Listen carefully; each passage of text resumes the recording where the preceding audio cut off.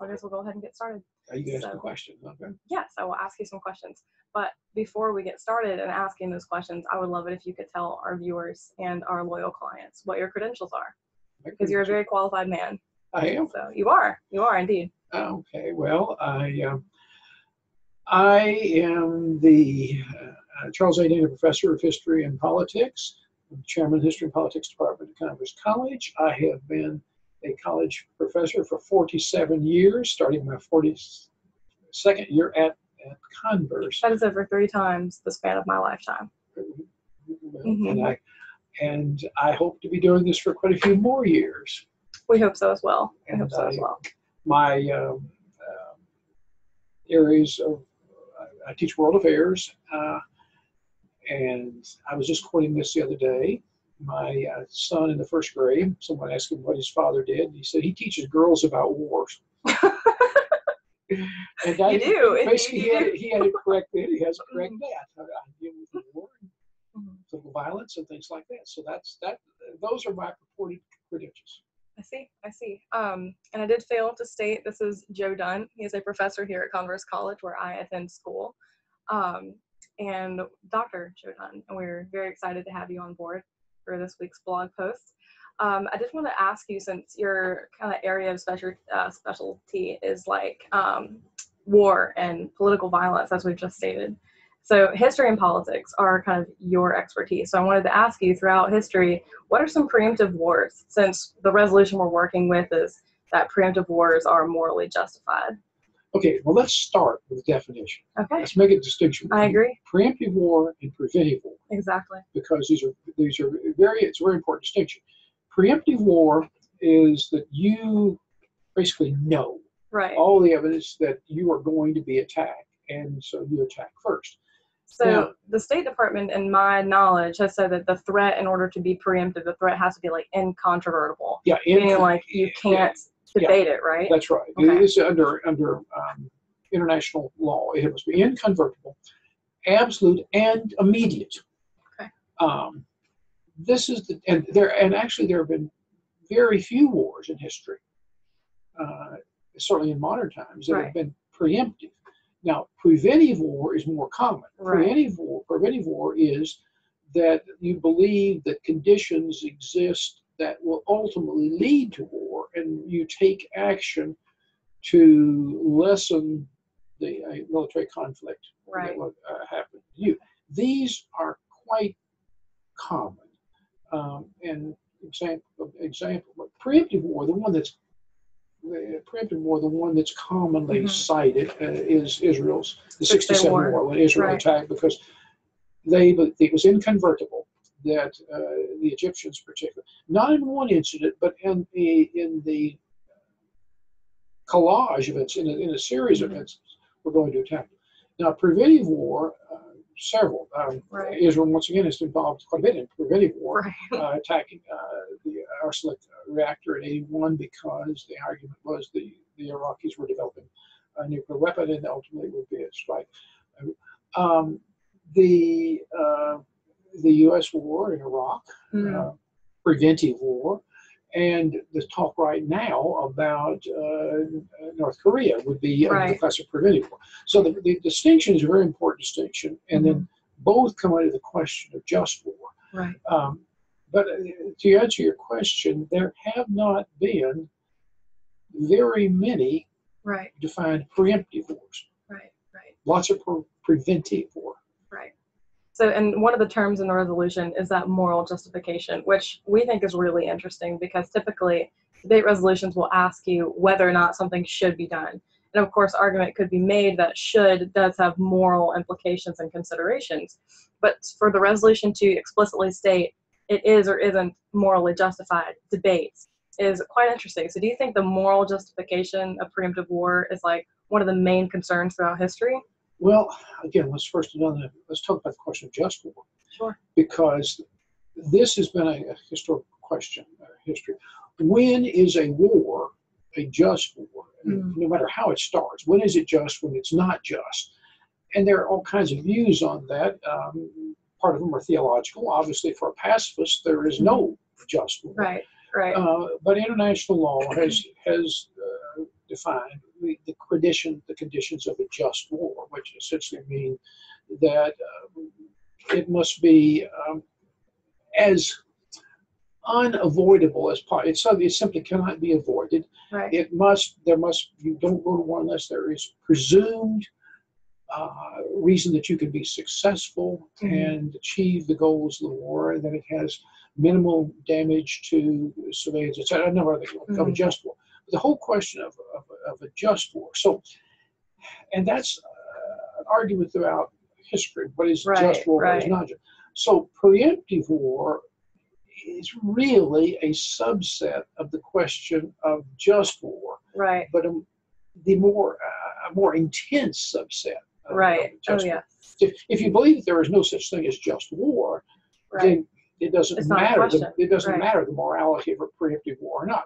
Any war Right. in which you any war that takes place is by definition immoral. hmm Right. And sorry, uh, not only pa- pacifists but many others would say. Right. Right. And I mean, no one can argue that war almost by definition is immoral. The question is. Um, the question is the basis of, of, of, of immorality. Right. Uh, right. Probably Reinhold, Reinhold Niebuhr said it best that there is a, in the questions of morality, there's morality which applies to the individual. And individual morality cannot necessarily be extrapolated to larger society. Right. Is moral man, immoral society. That that war could come. Obviously, things that happen in war are by definition immoral Right. immoral for individuals, but is it, it does it become morally acceptable uh, because it's larger society? So Right. It's kind are, of like a utilitarian thought there. yeah. Right. Okay. So all of these are parts of the uh, of the background to make a distinct uh, distinction on uh, preemptive war. So back to your question. What now? What, and now that I've rambled over all kinds No, no, no, no. That's a great answer to the question. I think it leads to more questions. And the real thing that we've been thinking about is essentially what you just said. Like the morality of preemptive warfare is going to sort of go back to the individual mindset on war itself. Um, so we have been looking at moral frameworks with which people could address the question of preemptive war. Um, and obviously, utilitarianism is a really popular one when it comes to war. Um, I feel like a lot of students don't fully understand it and then misuse it, uh, and they're just like, "Well, it's what's best for everybody." Not quite, um, but essentially. And we've also been looking at um, Kant's categorical imperative about how if it's not good for the if it's not universally beneficial, then it is immoral. Um, we've also been talking about Aristotle's golden mean, how you know the median in between two extremes is the most moral. So, what do you think are some other useful moral frameworks to approach this question? Well, that's that, uh, that's that's tough. Um, Yes. Obviously, the moral framework depends on where your moral framework comes from. Right. So, um, Isn't it interesting that this resolution is asking students to figure out where they derive their morals and then apply that to war? That's no, that is- almost that unheard is- of. that is exactly the issue. If you if you haven't, and most people haven't, younger students haven't, really addressed seriously what is the basis of where my moral uh, constitution comes from. Um, is it theological? hmm And if it's theological, you know, obviously there's a very difference uh, between Catholic sense of just war Right, and Right. and uh, non-Catholics or or Catholics have have devoted a tremendous amount of attention to the question of just war, and, Right, and obviously right. all questions are around. So there there is this within the Christian spectrum, within um, within Jewish thought, there is a whole range of basic questions of Mhm. morality within Islam. So if it's theological, Mhm. from what theological uh, source does it Mhm. come? If it is non theological, if it's philosophical, um, so again, you're very right in what you said. One first has to address or come to uh, an, an idea where on what where do the basis of Mhm. my moral thinking, my moral code come from? Because without doing that, how can one say anything is moral or not Right. moral? Right. Included. exactly. Exactly. Yeah. So, what are some of the moral justifications for preemptive warfare in your opinion? Well, the first I would first I would say I think most almost most uh, uh, theorists, most theologians, most moralists would say, by definition, preemptive war is immoral. Okay. Now, on the most extreme view of that would be the pacifist position saying that if you engage in if you engage in war, you engage in war, your justification is that the salvation of my nation is uh, is has primacy over everything else. Well, Mhm. that is an arrogance that is immoral. So, one could argue it's very hard to, on a moral basis, for preemptive war because it's making certain assumptions. Mhm, You're saying that I am going to take this action. mhm, People will be killed. People will, will suffer. mhm. Uh, there will be uh, collateral damage. Right. But the justification is that the my nation or my uh, if it's a foreign nation, my tribe, whatever it is, its existence is the highest point of my morality. Right. Its Right. existence is everything is secondary to its existence. And again, that's pretty much the Israeli uh, point of view that the Mhm. state of Israel, for all kinds of historic reasons, for all kinds of theological reasons, its existence is by definition moral, and that which Right. challenges existence is immoral. Therefore, um, preemptive war would be justified. Right. Uh, it's, but again, I come back to there's an arrogance in the arrogance of saying that whatever I am, I, the our continued existence transcends all other values. Now, Right.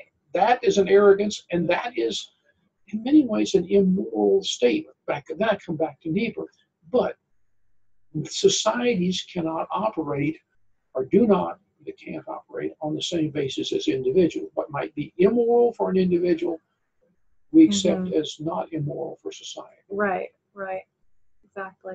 And I think what you just said brings up another really important question. So that arrogance um, can be very nationalistic. Like, um, and some of the students that I've coached this year already, many of them will have like in their value framework for their debate case um, that you know they'll mention my value is self-defense, and then they'll define that as America defending itself from potential threats. And I was asking, why is it necessary to have America, like in your definition, right? So why, and I understand why these values translate to them as American ideals, because they're American. But, and another resolution we're dealing with is nationalism versus globalism, which one is more beneficial, right? Which is another whole separate topic. Um, but that arrogance can be a great sense of national pride. So a lot of Americans specifically tend to think that preemptive war is more moral for them than it would be for our Middle Eastern neighbors or anyone else. Yes. Um, so you have to ask yourself if this value is like, if it's moral to you. If I were to say preemptive war is fine for America because our judgment is far and away better than every other country, right? We have to ask ourselves, like, what would that look like if another country were to say we are directly threatened by the United States, and to them, whatever we're doing translates as an incontrovertible threat? Would the State Department, you know, declare that a just preemptive war? Well, yes, and uh, we our history has shown that my tribe is threatened by your tribe. Therefore, I, if I wipe out your tribe, my tribe is better. Yeah. That's that runs through all that runs all through through history. A, a good example of what you just said was um, ISIS would argue that because they have anyway, I, we have ultimate truth. This is the ultimate truth. right. Therefore, anyone who opposes that is against God's will. So the United States has not only the most powerful military force, but its cultural power, which ISIS would argue, and Al Qaeda before that, its cultural power is destructive of that which Mhm. is true and right. Therefore, any action taken to destroy that threat to the truth which we have is by definition moral. Right. once you get into that into that argument, it, it, it really comes it comes to and of course America's justification on it is we are or have been or we believe ourselves to be uh, a nation that is has been for the most part moral in our Mhm. actions. Now again, if you look at it historically, you have to raise questions. The Right. the annihilation of the Native American, uh, the Oh, practice of slavery. You could go all through history. The um, questions of um the dropping of the atomic bomb on, Right. uh, on innocent civilians. There are real questions about has America always operated as the Mhm. paragon of virtue? If you're going to Right, stake, if you're going to stake your argument in America by definition is moral and right, then you've got a lot of history that you have to explain away. Sure. Oh, definitely. You know, we keep talking about innocent civilians, so I did want to ask you, do you think preemptive war by nature is more of a threat to civilians than, you know, maybe regular war, whatever we define that to be? Ah, that's hard. That's that's hard to say. It depends what you do in preemptive war. Right. I mean, I mean, if you were to say, we are threatened by you, here's a bomb, like, obviously that would probably be worse for civilians than other things, but yeah, there are a again, it, it, it's it's who gets targeted, and, and, and the reality is, in, in any kind of war, in any kind of violence, uh, civilians get targeted. But okay, let's get an example one where you you didn't target the innocent. Uh, in, in 81, when the Israelis bombed the Osirak um, nuclear, um, uh, what they what they believe to be developing nuclear weapons. Well, a relatively small number of people, tiny number of people, were actually killed. The people Right. who worked worked on in that plant. You didn't have any collateral any collateral damage, so you could say, okay, a very small number of people. Those people were complicit in the threat because they worked there. Now you can ask the question: Did they work there by choice, or did they work there because Sure. they had to? Right. But the point was, you you aren't killing very many, very many of the innocent, and yet for the Israelis, this was a very important thing preventing Mm, down the road a possible nuclear attack which could kill millions of people. So, to Right. the Israeli point of view, right. the, in proportionality, this was a very small a very, very small matter for a potentially very large right. uh, reward. Right. And, you know, we continue to be faced with that question about whether, you know, a lives lost in the moment will prevent like greater lives lost down the road. Um, and that's very hard to prove. Oh, it- it's, Very it's, hard to impo- prove. it's impossible to prove. It really is. a- it's like most things. It's a faith statement. Mhm. Most things are faith statements.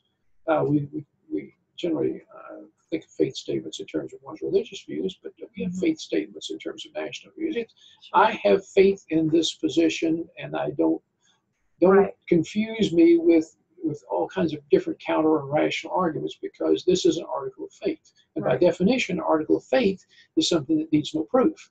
That's the Right. difference between- right. Faith is where is when when all rationality, when all ways of coming to truth by any means uh, of rationality or thought end. That We've now hit the that we've hit the line where you cannot go any further. That's where faith begins. It's simply Mhm. a conviction and belief. Right.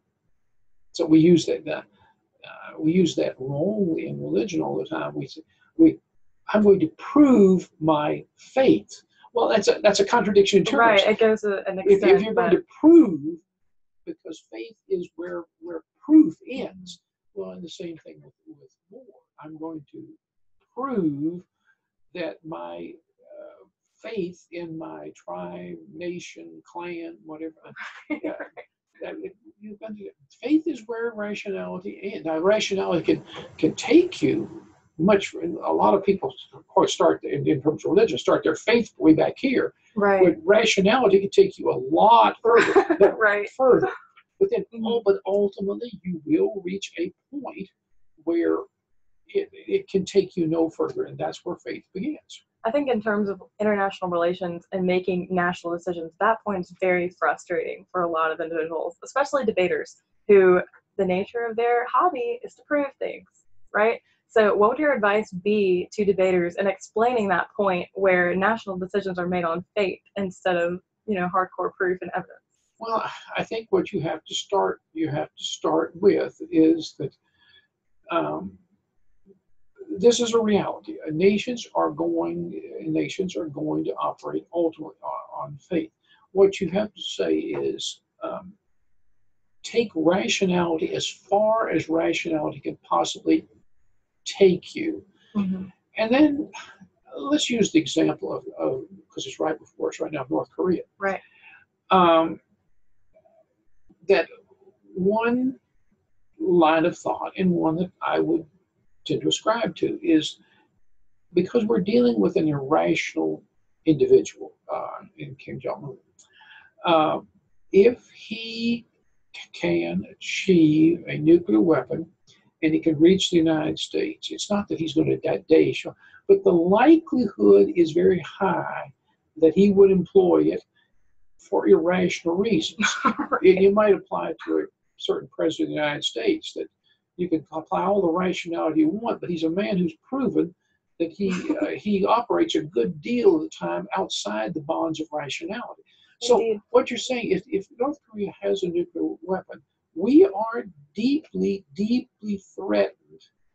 Um, now the question the question is, uh, at what point do you say the threat has reached a level Mhm. that we cannot we can't run the risk of going beyond that point? Are there no other means of accomplishing the goal of that Mhm. reaching that threat where they could strike the United States with a nuclear weapon? Then you have to you have to say, okay, if you're speaking moral terms, what if they do fire a nuclear weapon at the United States and kill X amount of people? Are the costs of preventing that from happening Mhm. morally? Uh, and how many North Koreans one would kill in a, a strike? And maybe more importantly, important, the, the retaliation towards South Korea and the, the hundreds of thousands, if not millions, of uh, if we take out the ability to take out their, their nuclear weapons uh, capability. So you ha- it comes down to a question of proportionality. Are is the city of Los Angeles um, disappearing from the face of the earth? Um, proportionality to North Korea, to uh, South Korea. Uh, does proportionality exist here, or do you simply say no? Our lives are more important Right. than their lives. Right. They all become very deeply difficult moral questions. Indeed. Indeed. So if you were to be an affirmative debater on this resolution and it was your duty in that round to say it is morally justified, what do you think are like the top two reasons that you Well, give? you, you start with saying, you, you start that it is my belief and my faith that the American um, political order is a superior political order. It is, um, it's not God's chosen instrument, but it, uh, but it is and has been a benefit to world society Mhm. its a continued existence is in the best interest of all on the planet. Okay. You start with that assumption. So would you interpret the resolution through the American government viewpoint, or would you just kind of look at it objectively as like moral or not moral? Because I think, I mean, you arguably you could do either. Well, yeah, but if you're going to get into, it's going to be so because you're going to be. If you're going to tell on, on abstract moral immoral, Mhm. you're going to get you go back to that when we started this thing. You're, you're, Right. you're, the, where does your morality come from? You almost have to say, "I'm going to do it on the basis uh, of of my nation Right. So, um, and again, Right. I'll come back to Israel because Israel argues why they, as a nation, are Mhm. exempt from some of the restraints that would be on other nations. And the argument is the history of what has been done to Jewish people throughout all time. The the Holocaust is the most extreme example of the um, uh, of the persecution and the, the killing of Jews throughout history. That Israel is a sanctuary for the continuing maintenance of the Jewish uh, people Mhm. gives Israel a special a special role, a special place in history, therefore that they cannot be held to the same um, rules. With, uh, I mean, for instance, is Canada, does it have an essential role in human history? That if Canada Right. ceased to exist, Right. uh, this would be a crime against all of humanity. Well, no, if you're Canadian, you want Canada to.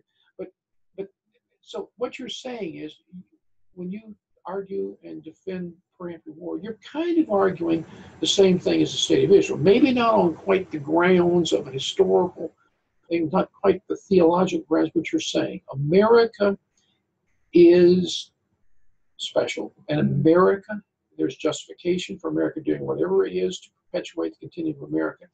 Therefore, it justifies these. It justifies these these Right. actions. Now, of course, the question is that uh, France and Argentina and Palau Right. could, could argue the, the same thing. They may not have as much historical evidence, particularly Mhm. Argentina and Palau, may not have as much historical evidence to bring forth to the question Mhm. but it still comes to it, it comes to and we're just going to accept that my nation is the most important thing that exists and that which continues the viability of my nation now uh, and that's when uh, been said in my nation right or wrong and please by god's grace may we always be right Right. I mean, i- i- if you're going to have that kind of an argument, it does impose upon you a very high standard of truly being a moral force. If you're going to go out and drop a nuclear weapon on Hiroshima and Nagasaki and not only kill all the people that you killed, but the legacy forever of all those Mm. people affected, generations after generation affected by that nuclear radiation, Mhm. the onus of the first time it was ever used and that, that kind if you're going to do that and you're going to justify it uh, for all kinds of reasons it was necessary for all people then you're going to have it also is implicit that you're going to have to be a nation that truly does make the cost worth paying worth paying Right. Right. so there are obligations. They obligate all responsibilities incur obligations, Mhm. and the responsibility of having great power, the responsibility to unleash great military power, carries with it awesome responsibilities. Indeed. Uh, and that, that's one thing you just you simply have to uh, accept. Yes, it's arrogant. It is. Um, And I think admitting that and understanding that will probably win debaters like a lot of rapport with their audience because the, just being this objective speaker who says we are better than anyone else. I am interpreting this resolution as moral for America, maybe not so much for anyone else. And we will handle this moral responsibility far greater. It is arrogant, and I think recognizing that it's arrogant and then proving that perhaps America may be the best government to maintain this responsibility, I feel like that would be a much Well, it's- more winsome it's the only way that you. It's the only way you really can argue right. the the use. Now, the pacifist position is the most consistent position. Indeed. That violence is the ultimate sin. In fact, uh, the guy that I wrote a book on, um, that he, the he, the original sin was violence. Right. Violence is the original sin. The committing of violence has no justification anyway, ever. Uh, violence is by definition sin.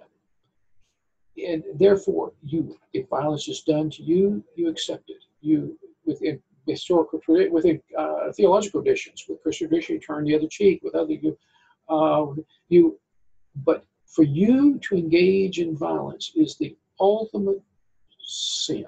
Right. So if, if you are struck by a nuclear power and it wipes you away, Too bad.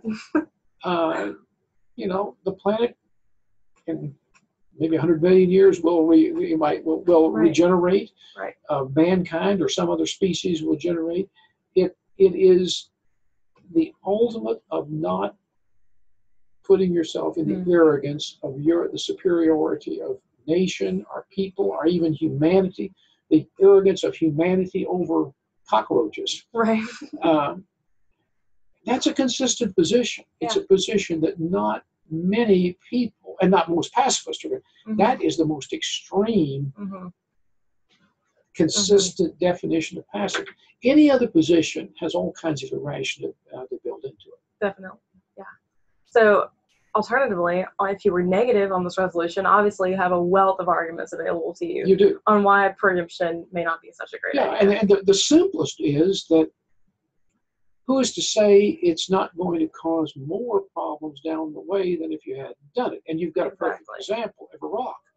I mean, it, this was preventing war, the fear that uh, that it, that uh, if Saddam did have nuclear weapons, etc. So, but the reality of what happened, we went in, we took out an evil man. There's no question about that. Right.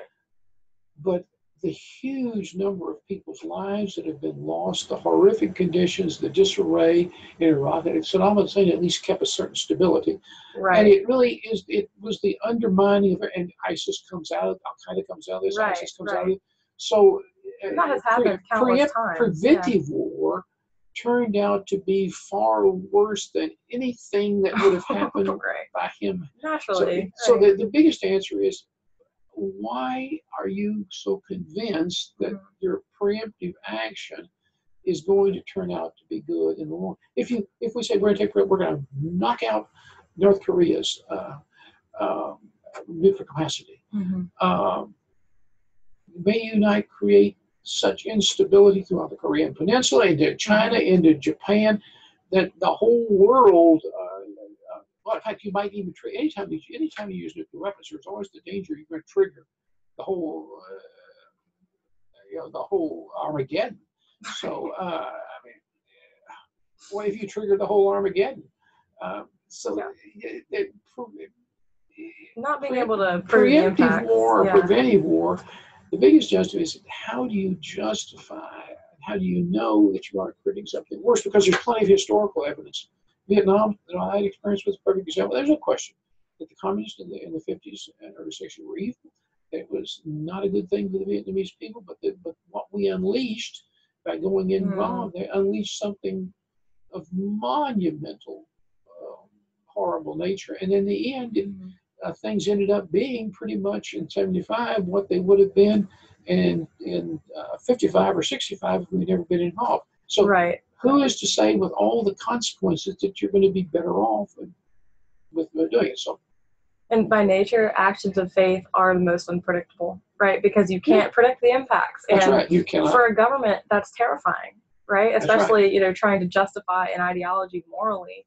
Be, being unable to implicate its practical, you know applications is really difficult. You can do modeling and modeling and modeling and, then all that, but you can't you can't ever know what the you can't ever know what anyone's you can model what my behavior would be this afternoon but ultimately you can't i mean you can say uh, based on history we've studied this man every minute of his life and he will leave here he'll go home and he'll have a cup of tea and he will read a book and all and that with you know i'm giving 999.9 but who's to know that I might walk out of here and and decide uh, to go rob a bank or something? Like wouldn't it has no, it has well it, it has no historical it has no historical precedent that would happen.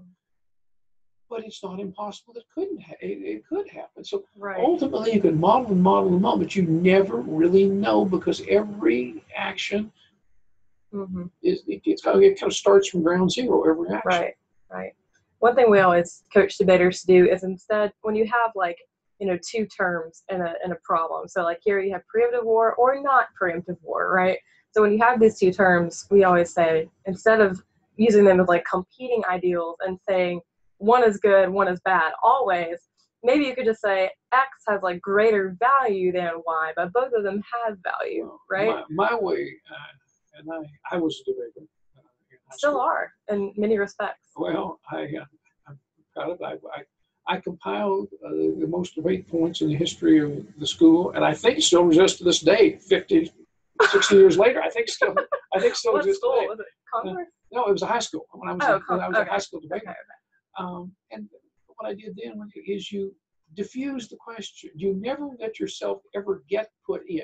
You Mhm. never let you get put in either or position. You Never. never Right. you as I started this thing out, you start by defining the terms. You start by making it a bigger and more diffuse issue. You never get tra- okay. Now, is it this or this? Which you never let yourself be put in that right. position. That's a never let fallacy. yourself be trapped in that position. options. Right. You always now. Let's define the terms. Let's broaden the issue, and that's what you do as a debate, particularly in something like there. There's no, there isn't any answer. Now, you could say, uh, let, let's say the question is, um, should women be raped or should women not be raped? Well, I don't think you need to diffuse that question. I think the answer is pretty clear. There, there, it's pretty clear on that. So and you, glad can, and you can have an argument. there. But most things are not that easy. Right. They're they're Right. much more. But don't let. There are there are things you literally have to draw the line. Do you believe? Uh, do you believe that uh, children that do you believe that Americans should have the people should have the right to child pornography? Well, I, I would say no, no. right. Would black just, and white. that's a black and white issue. Now, Mhm. I'm sure there are other people who want to argue but to me, it would be a black and white issue. Right. But most of the issues that you come up in a debate are not black and white, and don't let yourself get Mm-hmm. trapped. in They wouldn't be very good debate topics if they were if they were that simple. What's funny is debaters will put themselves in that black and white box. They will say, "My side of the resolution is good, and your side is bad." Yeah. And they, they do that. I don't know why. and that's not. I mean, that's because it's ultimately it's ultimately a losing proposition because you- you never want to defeat the adversary totally. Well, you don't want to trap them in a corner where they have nothing, no other alternative to lash out. uh, you don't want to trap them. You don't want to beat them down and humiliate Right. them. You want to be reasonable. You to set a situation so they ultimately say your argument is actually so reasonable that I think I'm going to have to come around and start seeing things.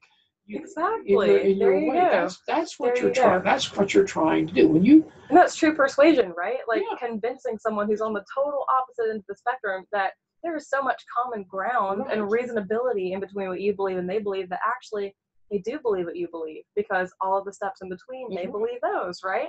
you don't Mhm. there, there's there's only momentary victory in just crushing someone and driving them into the ground. That's I wish you would come judge it's debate tournaments. momentary, but long term, it's not. It, it- it's we've seen we see that in wars when, when you have defeated nations totally and completely and crushed them into the ground. It Right. has negative. It has negative consequences. You always want to give, in any negotiation, Mm-hmm. in, in, in international negotiation, give give the other side the ability to kind of uh, leave or retreat and save honor and save face. Mm, That's when you can create situations that have lasting viability. right. Uh, when you say, okay, we've just got the power, we can uh, we can crush you, and you will have. Well, in the short term, that might work, but you sowed the seeds of resist. You showed the seeds Right. of resistance that will come Right. springing up. When you've given honorable, uh, saving face, you give them okay. Now we are all committed to the new consensus. We're committed to it. Mhm. And that's what you do. That's what you do in, in debate. It's you want to create a situation where everybody walks away saving face and with honor. But Exactly. you, because you did it so skillfully, everyone knows you're the architect of having done this. Right. You're the you're the greatest negotiator because you created the situation that allowed this to happen. And, and then in terms of being judged who wins or who, you're mm-hmm. obviously the winner because you're a better negotiator. Right, exactly. In fact, our old founder used to say that he married a debater, and he was, you know, you know, master, you know, speaker as well. And everyone always said, you know, because you married a debater, you guys fight a lot? And he always said, no, debate isn't about arguing; it's about finding common ground. So no, we have a great marriage. So yeah, I love your views on that. Last kind of like issue on the table, I think, in terms of preemptive war is cyber warfare. We kind of talked about this a little bit before we got started.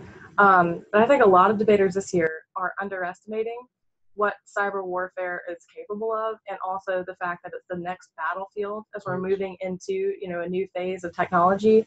Um, what are what are your thoughts? What are your concerns? Well, I mean, clearly, uh, if you think nuclear war is bad, it is.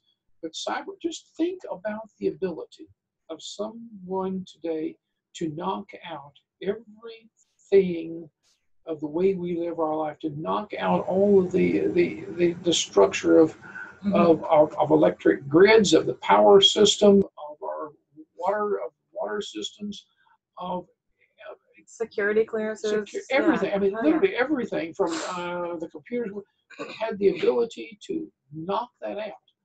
Uh, and you instantaneously you return to Stone Age, Exactly. and uh, that cannot be uh, underestimated. This is the real threat. This is what, what adversaries on both sides are working on to reach a point where you can strike massively Mm. um, in undermining the very way the society is able to operate. And those that have that capacity will be the military. I mean, let's go back to North Korea. If through cyber, we, we, we haven't seen this in some respect. We saw that we set back probably 10 years Iraq's ability, uh, Iran's, Iran's ability to develop a nuclear weapon by a um, malware hmm put into their into their uh, nuclear uh, facility that uh, destroyed destroyed their developing nuclear weapons. And yet it was it was it was hidden well enough that it took them years and years to even know that it was doing it. Mm. Now imagine that ability. Right. Let's just apply that back, back to North Korea. That we somehow were able to use cyber warfare through malware to make sure that when their missiles they fired them toward the United States, they blew up Right. or didn't work or blew up there. Um, this is a tremendous capacity, Mhm. and it's the next, not the next, it is the present, one of the present grounds of warfare. So do not in any way underestimate the power of cyber warfare. Right. It's there, it's existing, it's going on. Now, if we talk about Russia attempt to manipulate our very electoral process to uh, to literally change, and let, us say, you know, one of the things I think this probably stopped. We were in the process of going toward an infrastructure, an, an internet infrastructure, where the moment you push the lever, you go into the into the voting booth, you punch the lever, and that that ballot is that ballot is cast at a national center. And the moment the, the polls close, they close. The moment they close, you literally can announce the winner because it's all every every single vote has flowed in and it's all been Mhm. counted. Now, that's all wonderful and good, and it's, but also think what somebody who is able to penetrate into that system and control that and change the vote could do. Um, we were moving probably in more in a direction. Now we're decoupling everything, Mhm. everything, so that uh, a, a, a individual uh, ballot box is not connected to anything else, so that somebody can't get in and change the, the votes there. Right. Um, so yeah, cyber warfare. It's going on now. It's the way. It's the way of the future, and the those who have it and can exercise it have tremendous power. Those who are vulnerable to it, all kinds of bad things happen. So it Right. should not by any means de- uh, be depreciated. So, do you think that the type of warfare used against a country should reflect the type of threat? So, for instance, if there's a cyber threat, um, we should preemptively strike on the cyber front, or you know, if there is a nuclear front, we should strike, you know, in that Well, regard. we always, I mean, it- it's, it's been a principle of international practice to, that responses should be uh, commiserate with, uh, with the, initial, uh, proportionality. And I think Right, right. proportionality, for instance, um, um, if um, Mexico to open up the gates and flood uh, uh, 10,000 people, uh, re- uh, Mexican immigrants, into the United States. We should say that's absolutely intolerable. It is unacceptable. We're going to nuke Mexico City. right, right, I mean, that, the level of proportionality is is outrageous. right, right, Responses have to be within. Uh, if if they would do this, yeah, there are consequences. You don't just say, "Not enough. You shouldn't have done this." There are consequences uh, that one pays, but you have to keep it within the level of proportionality. Proportionality. Right. Otherwise, um, yeah, I've I've, I've always said, you want to stop speeding? We can stop. I can I can stop speeding, not hundred percent, but almost hundred percent. That when the highway patrolman pulls you over and he says you were going you were going 15 miles past the speed limit, pulls out his gun and shoots you in the head and leaves your body laying. right. Well, pretty soon we would only have a few fools speeding, yeah. and after and after we Would you catch be one them, of them? catch them, shot them, and shot them. Well, but the proportionality is out is outrageous. So Right. you response must be within a uh, within Right. a reasonable proportion. So yeah. Now, does that mean that it must be totally symmetrical? If it's a cyber a cyber attack, you only attack. Right. Not necessarily. I, it, there may be I think other cyber attacks are a great way to disable a country, Yeah, even if they're not a you- threat. right. You cyber way. Your response uh, your response has must have proportionality. It Right. doesn't necessarily have to be symmetrical. They attacked you, uh, cyber. You attack them. No, we, we can do other way, and that's of course what we do uh, with with with sanctions. Uh, Right, One takes military military action. We use economic sanctions to Mm-hmm. Right. try to control military action. So no, it doesn't have to be the same thing, but it has to have certain proportionality. Right, right. Okay, so do you think cyber warfare is going to become or is more powerful than traditional warfare? Um, the potential certainly is there. It is there. The the uh, the counter i- the countermeasures. The, the offense is going to ever increase. You have to constantly be create the countermeasure to prevent it. Now, if you can keep a balance there, you can you could. And we, we talked about with nuclear weapons, MAD, mutual assured destruction, because Right, you've got all these nuclear weapons, but if you actually use them, going to retaliate and and everybody mm-hmm. everybody loses because the whole world. will. right, well, right. with cyber warfare, you don't have to reach that. You can have a tremendous capacity, but if you have a counter capacity to check it, it ultimately just it ends in a checkmate. And the Right. you just keep you keep revving and revving and revving, rev up the level, but you got to rev up the level of checkmate. So it's less danger. In, in some ways, it's less dangerous. Uh, but no, clearly, cyber warfare is um, uh, now does as was uh, it, it's also symmetrical.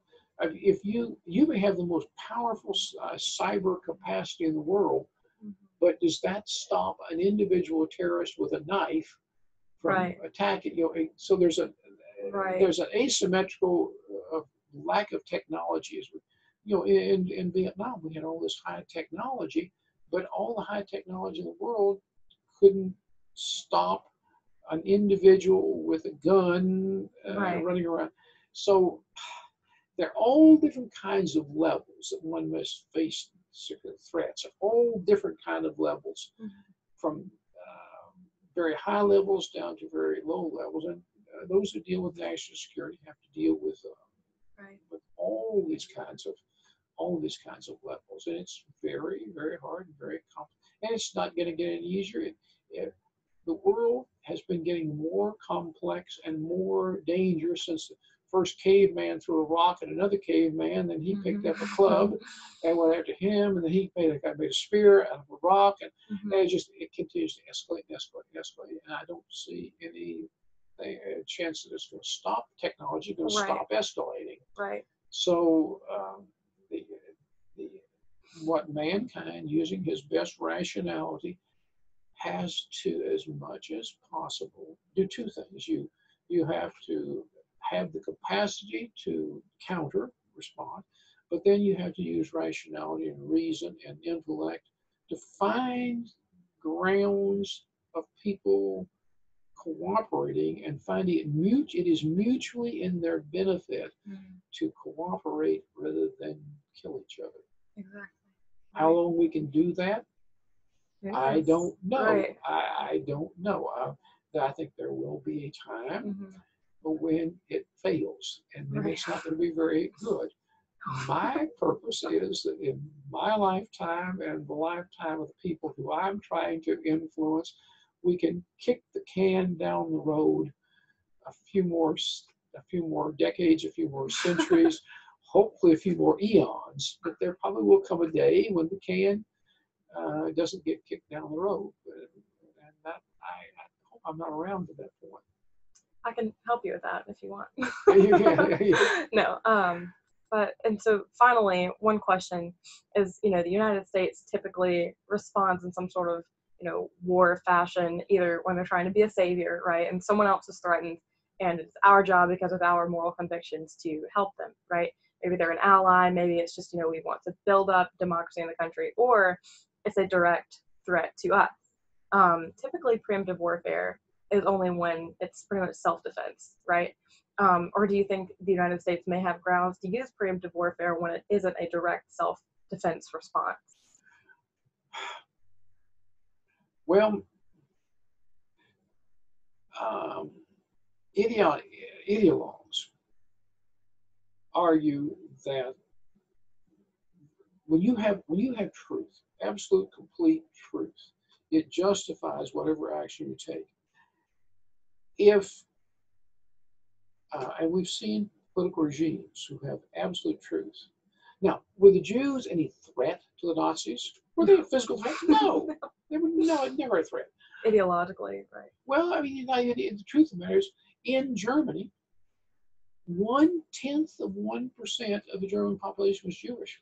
It was only when when when the Nazis swept into Poland and swept into Eastern Europe that they began to confront large number of Jews. You had a tiny, tiny little fraction of people, but to a form of ideological thinking, the very existence of that element or that thought was a threat.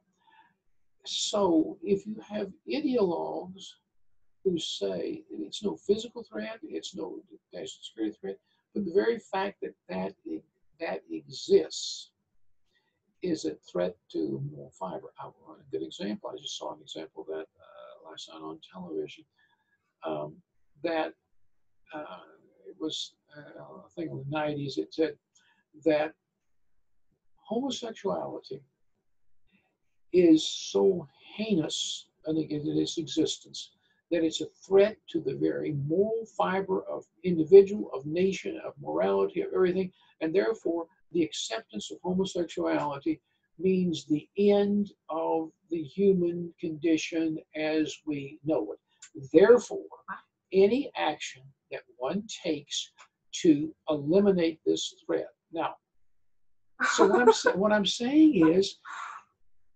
ideological thinking, religious, political, that elevates any particular thing. Vegetarians are a threat to it. That uh, then, yeah, I mean, there, there will again, there will always be potential for threats. One must maintain rationality. One must maintain a moral compass, whatever Right. that compass is. Right. That you don't let that kind of thing prevail. We certainly see it. We certainly see it in the world today. We see it in ISIS, but we see it within elements of the United States. There are people in the United States that that honestly believe in their miscreant minds that uh, transgender people, they, kind, of, kind of homosexuality is sort of being okay. All right, well that has come and it hasn't. Uh, the world hasn't come to an end. But now the latest thing is transgender. That's the end of human existence. But there, there are people within the body the United States, and if if if they prevail, if they find support, if you know, then one can hear, I mean, one could one could how could one have ever said that uh, the in those one of the most civilized countries in Europe that the Nazis oh yeah there were Caesar but the Nazis would come to power could you I don't know Right. years before Right. that could you a lot of the other things could you uh, the Hutu and the Tutsi in Rwanda had been living in relative relative acceptance of each other for, for a very long right, time right. it explodes there are all these things that just my friend in Ghana uh, Ghana, uh, the first African country to gain its independence, Ghana has a well-thriving democracy. Ghana is it functions all that, but as he said, ultimately, when a people are tribal, and most of the world is tribal, and it is your ultimate identity, and you ultimately have the fear. He said it would not take that much of a spark, and pretty much then all of this civility, all of these things are stripped away, and you're into tribal war. You're into tribal war, and he's tripped. It's it's right, right we the patinas of civilization, the patinas of moral behavior are so very, very fragile over all Mm. human beings. It doesn't take much Right. to strip it away, and Right. then pretty soon you're in you're in the law of the jungle. Right. Right. Great thoughts. In summary, what would be, you know, the things if you could give debaters in this resolution, you know, your, you know, your all overarching wisdom for this topic, what would you most want them to remember? That war is the ultimate failure of mankind. When you come to judgment that you're going to commit violence and killing of your fellow man, it is failure by definition. There is no such thing as a war that is, all we, we, uh, we, we cheer them and we, uh, we uh, invoke them and we, uh, the grandeur of winning war. War is by definition an evil thing. Right. It is something that it's something that sometimes it, in, in, in the fallibilities of being human, it becomes it's something we have to do or we, we, we find ourselves doing it. But whatever we do to prevent getting into that situation is a good thing. However, we succumb to doing it is a bad thing. Um, Right, do not make it easy to engage in the violence against another people, tribe, nation, person. Um, I preemptive war, I would virtually say is, is in 99.9999999% is not something that can be justified in any way, shape, or form. Okay. Now, when it when it comes down to the practical, if I knew inconvertibly, absolutely inconvertibly, that uh, that the United States was going to be, let's go back to the Cold War, so the, the, the Russia is going to unleash their weapons and destroy the United States totally, inconvertible. And I had the power to prevent that through nuclear something. Would I do it? Yes. Would I justify it as being, I would say, okay, it's sin, and I would, it is sin, and I'll, I'll rest with my. Ultimately, it helps to be a person who basically believes that man is depraved, man is sinful, man is uh, is in need of, of, of grace of some. Is it sin? Yes. Is it ultimate sin? Yes. Am I going to do it? Yes. Am I going to say that I throw myself on God's mercy? Yes. So Right. it, it helps when one believes that man should strive, should try to be moral, should try to do the right thing, but ultimately we are incapable of doing it, whether by the nature of our creation, whether the nature of our socialization. And so one ultimately going to have to throw oneself on the mercy of whatever deity one believes in. it helps to have that view. But am I, am I, I went to war. I didn't want to kill people. I didn't even think the war was just. I'm going to do it. I decided I'm not going to Canada. I'm not going to do these things. I'm going to go do it. If I commit, if I am immoral in doing it, all I can say is I'm going to uh, throw myself in the grace of, uh, of, of, of the Creator that I believe in. Right. Um, that's all, all that one can do. One does the best that one can do, knowing that ultimately one is going to fail. Right. And war is that last resort. So when And we get war there, is, it does war is failure by definition. Right, War is right. failure. It is sin. It is the worst sin by definition. Are we going to have we been doing it since the beginning of time? Yes. Are we going to do it till the end? Yes. Um, right. And the on best, moral that, the best that I can do is try to prevent it as much as possible. And then Right. when we engage in it, to do it as if, if there's such a thing, if it's not an oxymoron, do it as humanely as possible. If that's not an oxymoron. Right. And don't Yeah. glory in it. Exactly. Uh, um, I, I have a hard time um, justifying the glory and killing. Now, do I selfishly when I see that when ISIS is killed by a drone? Yes, it makes me happy. But on the other hand, when I was fighting in Vietnam, I knew the other guy had the same belief I did. He was fighting for for a nation. Do I do uh, do I hate him? No. Um, do um, do I know he wants to kill me? Yes. If it has to be, I will kill him. But do I hate him? No. Uh, does it help to build an artificial sense of hate? Yes, it does help. But I just couldn't do it. I could not do that. Um, this is where I find myself. This is the condition I find myself. Now, I'm no saint. Do I, would I, if, uh, and I've said the time, if a person comes into my house and and uh, accosts my wife, rapes my wife, and I come into the house and I have a gun, would I kill him with great joy? Yes. Is that sin? Yes. But would I do it with great joy? Right. Yes, Right. because I am the seeds of the seeds of, of, of sin are deep within me.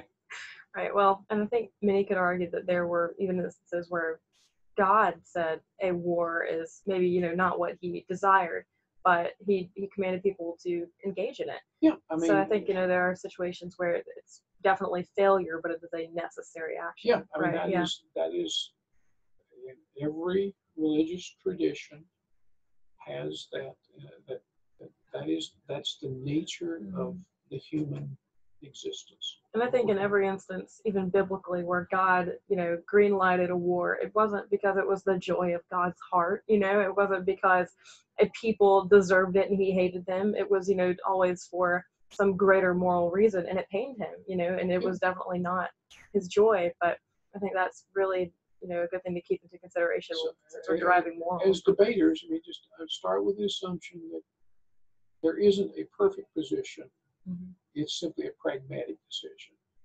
Um, if you're going to argue for a preemptive war, you argue it on pragmatic grounds. If you're against it, you argue it. It's, it's not those pragmatic. You argue this on pragmatic grounds, and, and uh, that it's Mhm. not one is an absolute right position. Doesn't it's just Right. pragmatism. Right. All right. Any final thoughts? No, I have no final thoughts. All right. Well, thank you so much. We appreciate it. I like looking at myself talking. Do you need to do it for a few more minutes? No, no, no. I, Okay.